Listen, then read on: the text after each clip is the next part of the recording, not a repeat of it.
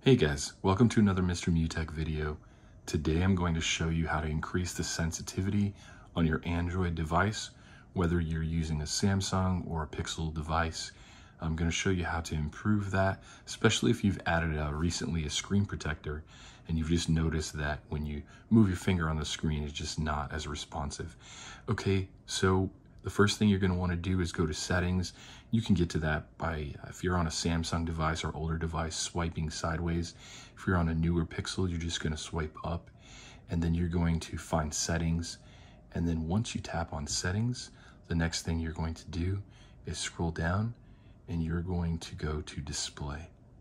Once you tap on display, the next thing you're going to do is scroll down more and you are going to notice an option towards the bottom for screen protector mode. Now, tapping this and ticking this on will increase the sensitivity of your device and hopefully help you to have better swipes and a better, more natural movement on your device.